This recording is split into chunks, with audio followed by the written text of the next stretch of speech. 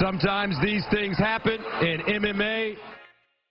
What's going on, fight fans? Welcome to These Things Happen in MMA. The goal of this channel is to highlight crazy and spectacular moments that have made mixed martial arts into what it is today. Don't forget to follow the channel on social media, and the link to my merch shop is in the description below. In this episode, I'm going to talk about the growth of women's mixed martial arts and how it evolved over time. This is the story of the evolution of women's MMA.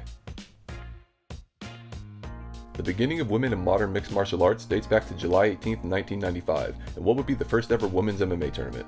The event was titled the Ultimate L1 Challenge, run by Japanese promotion Ladies Legends Pro Wrestling.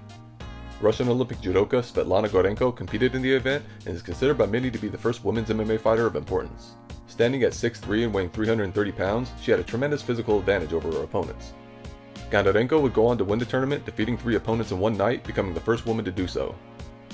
On March 28, 1997, the first ever recorded women's MMA bout in the United States took place. The event was held in Hogansburg, New York at International Fighting Championship 4. The fight only lasted a minute and 44 seconds before Becky the Specimen Levi defeated Betty Fagan by TKO. Levi would finish her four-year fighting career with a 7-1 record. So our winner is Becky Levi. Her only loss came in the second ever women's MMA tournament titled Remix World Cup 2000 run by Japanese promotion Neo Women's Pro Wrestling. She lost to fellow pioneer Marloes Coenen, who was 19 at the time and entered the tournament just days beforehand. Goundarenko was also competing in the tournament and almost faced Coenen in the finals before coming up short against Megumi Yabushita. Marloes would go on to win the tournament, defeating three opponents in one night, just like her predecessor, becoming the second woman to do so. During this time, Japan played a key role in women's MMA, and SmackGirl was the only all-female organization to continuously hold events. The first elite female Japanese fighter was the Vale Tudo queen, Yuka Tsuji, from 2001 to 2009, Tsuji posted a 22-1 record and even managed to avenge her one loss in that stretch. Following shortly after was Megumi Fujii, a BJJ and Sambo practitioner who made her MMA debut at the age of 30. Fujii is widely credited with helping change the perception of women in mixed martial arts. She's quoted as telling her students, we need to be well trained in order not to be looked down at by males. Fujii went on to have a 26-3 record, with the only losses coming to Zoila Gurgel and Jessica Aguilar. The mid-2000s would produce more great Japanese talent. Women like Hisae Watanabe, Satoko Shinashi, and Miku Matsumoto. American fighter Tara LaRosa would also start a rise, eventually becoming the first and only women's bantamweight champion of Bodog fight.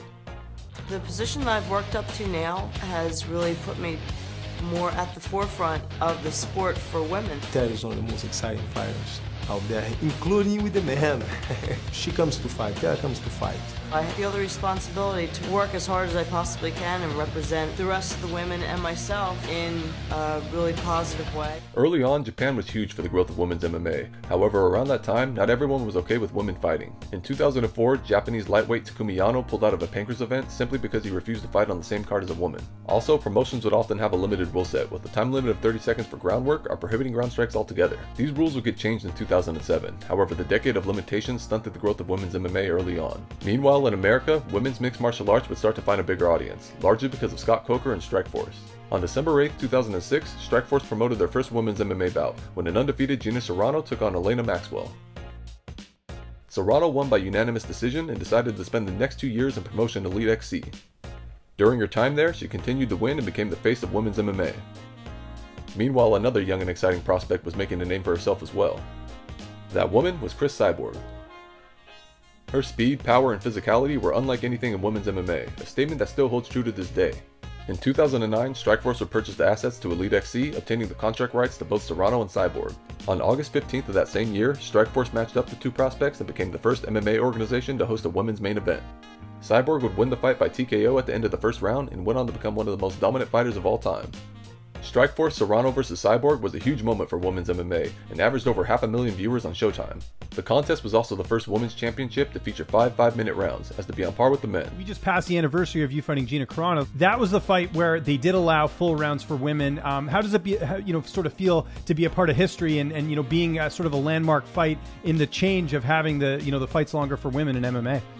You know, for me, the, the goal I always have in my career, in my life, is like to do the best in the women's MMA for the other girls come. For me, when I'm stop fighting, I want my legacy continue with another girls. You know, this is this is the legacy thing. You know, when I start fighting, Now I have a lot of girls fighting, and now you see so many girls. For me, it's, it's, it's amazing. I want to continue doing this, bring the light for another girls. With the sport increasing in popularity, the end of the decade saw other great female fighters rise to the ranks as well. Women like Sarah Kaufman, Alexis Davis, Julia Budd, Germaine de Randamie, and current GOAT of women's MMA, Amanda Nunes. In 2011, the infamous video of Dana White being asked about women fighting in the UFC started to make its rounds on the internet. When are we gonna see women in the uh, UFC, man? Never. Never? Never? Roughly two months after that moment, Zuffa announced they bought Strikeforce and would continue to run the promotion separately from the UFC. It was around this time that the Rowdy One would begin her meteoric rise to superstardom. When Ronda Rousey burst onto the MMA scene, she was a phenom and the first American woman to earn an Olympic medal in judo. She finished her first four professional fights by armbar, each lasting under a minute. Unbelievable! Ronda Rousey does it again! I don't know if I've ever seen anything like it. Four wins, four armbars, four first-round finishes. In just her fifth fight, she took on Strikeforce bantamweight champ Miesha Tate. Rousey again won by armbar in the first round, breaking Tate's arm and becoming the new face of women's MMA in the process.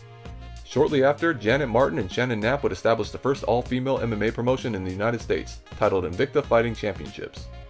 Since Dana White was so outspoken about women fighting in the UFC, the female athletes felt unsure about their future in Strikeforce. Because of this, Martin and Knapp felt obligated to use their knowledge and provide a stable home for female fighters. On April 28, 2012, another milestone in women's MMA took place when Invicta held their first event. The sport has developed so much that there is a place where we have a cage of our own.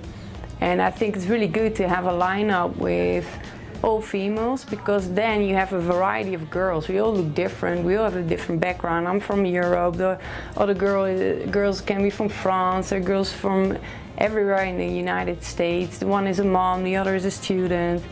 And uh, I think a lot of girls can relate to that, and that's why I think it's such an important thing. Later in 2012, news broke that Strikeforce would be dissolved, and Dana White announced that the UFC had signed their first ever female fighter in Ronda Rousey. Since she was the final bantamweight champion of Strikeforce, her belt was promoted, and she became the inaugural women's UFC bantamweight champion. I'm gonna make it official right now. The first ever UFC Women's Champion, Ronda Rousey.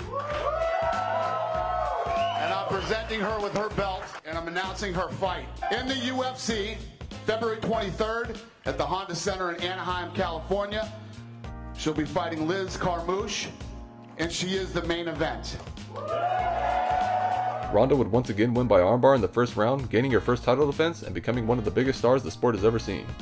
This moment opened the floodgates, and before you knew it, every major promotion had women fighting in their organization. However, it was the UFC who was leading the way when it came to promoting women in mixed martial arts. 2014 saw the UFC create a 115 pound strawweight division and the first all female season of Ultimate Fighter. We decided to bring in the 115 pound women's division. Look at this. There's a show called Invicta, and basically it's all female fighters. Are you kidding me? So what we did is we went in and acquired 11 of the 115 pound women fighters from Invicta. Eight of them will compete here on The Ultimate Fighter. In the finals, it came down to the Cookie Monster Carla Esparza versus Thug Rose Namajunas. Esparza would win the fight by rear naked choke in the third round and became the inaugural UFC strawweight champion. In her first title defense, she lost her belt to Muay Thai and kickboxing specialist Joanna Jędrzejczyk. Joanna would become the first long-standing champion of the strawweight division, gaining five title defenses before losing to Rose Namajunas. Rose would go on to beat Joanna twice and is the current strawweight champion, with some considering her to be the best in the world. On November 14, 2015, Ronda fought former kickboxer Holly Holm at UFC 193 and was famously knocked out by a head kick in the second round. The belt then switched hands to Miesha Tate, and then once again to the Lioness Amanda Nunes. Ronda would be her first title defense, and they fought at UFC 207 on December 30, 2016. Amanda would dominate the fight and won by TKO in the first minute of the contest. With the win, a passing of the guard moment took place, and Amanda Nunes became the new face of women's MMA. In 2017, two more weight classes were added to the UFC in the form of a women's featherweight and flyweight division. On February 11th, Germaine de Randamie defeated Holly Holm at UFC 208 to become the inaugural featherweight champion. On December 1st, Nicco Montano defeated Roxanne Modafferi at the finale of season 26 of The Ultimate Fighter and became the inaugural strawweight champion. Oddly enough, both women would be stripped of their belts before defending them. De Randamie was reportedly stripped because of her unwillingness to face Cyborg as her first title defense. Cyborg then won the vacant title and was subsequently defeated by Amanda Nunes, who became the first ever women's two division champion.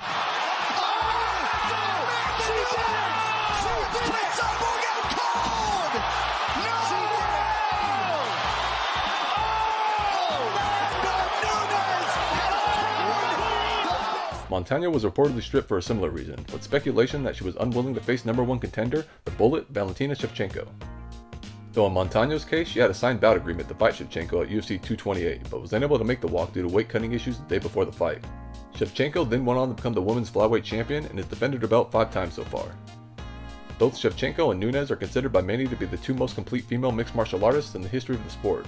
So far they fought each other twice, with Amanda coming out on top both times, although many feel Valentina won their second contest. With both women being so dominant, the possibility of a third fight is still there and could possibly happen sooner rather than later. You, you get asked this a lot, but some of us feel like the only real test left for you is that trilogy fight with Amanda Nunes. And do you foresee that happening at any point? And would you be going up to 135 for that if so? I know it's gonna happen. I don't see it rushing because I want to um, like the perfect timing. That's why when it's happened and it's gonna happen, it's gonna be huge deal. Now virtually every major MMA promotion has women's divisions, and the next female superstar could emerge from anywhere. Recently, current PFL standouts and Olympic gold medalist Kayla Harrison and Claressa Shields have been staking the biggest claims. Harrison is a judoka who competed at the 2012 and 2016 Olympics, winning gold in both and becoming the first American to do so in judo.